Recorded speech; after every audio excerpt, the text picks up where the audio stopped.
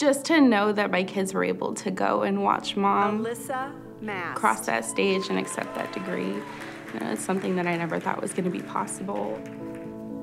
My journey at ASU started 11 years ago in 2012. Shortly after I started at ASU, I was let go from my job and I was evicted from my first apartment and I stopped going to classes mid-semester. And I did that two semesters in a row. So because of this, I ended up getting academically disqualified. In the 10 years following the academic disqualification, um, I struggled a lot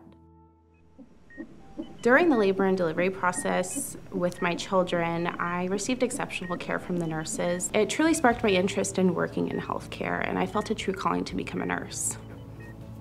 I started working at a local hospital in housekeeping, and while doing so, I went to a technical school and got my CNA certification where I transitioned into that role at the hospital. I got to really figure out how to be compassionate for all of these different families and support patients in like the worst times of their life. Shortly after that, I started taking nursing prerequisite courses at a local community college, and in 2021, I applied for and was accepted for readmission to Arizona State University.